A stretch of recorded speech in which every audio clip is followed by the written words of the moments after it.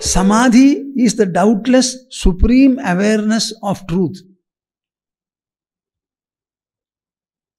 Samadhi is what? When you are able to get absorbed into your own consciousness and there is no second factor.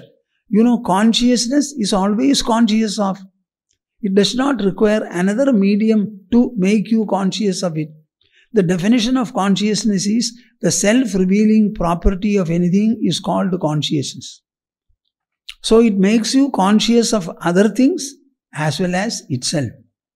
In samadhi, you get an opportunity, opportunity to know what is this wonderful consciousness which remains in you.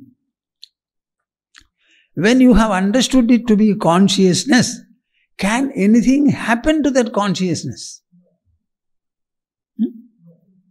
थोड़ा सोच कर बोलिए ना हाँ so many thoughts are arising in your mind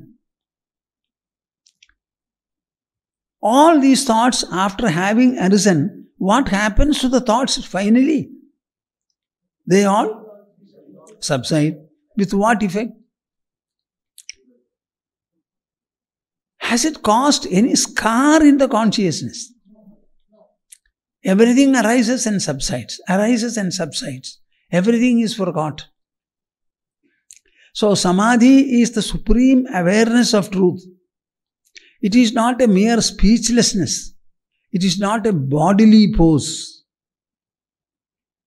It is not a bodily pose. It is the unconditioned state of one's awareness. There is clarity there is definiteness of intelligence. For the rightly illumined person, if once samadhi occurs, it will not be dimmed or eclipsed at all.